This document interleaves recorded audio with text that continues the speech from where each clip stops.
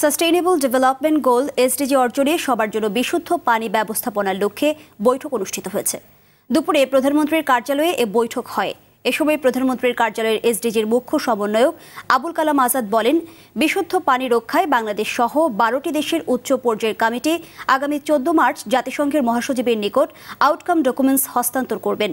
মূলত এর মধ্য দিয়েই বিশ্বব্যাপী বিশুদ্ধ পানি রক্ষার কার্যক্রম শুরু হবে।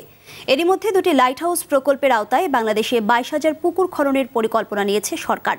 পুকুরগুলোতে মাছ চাষ এবং মানুষের নামা নিষিদ্ধ থাকবে। যা থেকে এলাকাবাসী প্রয়োজনীয় পানি ব্যবহার করতে পারবেন।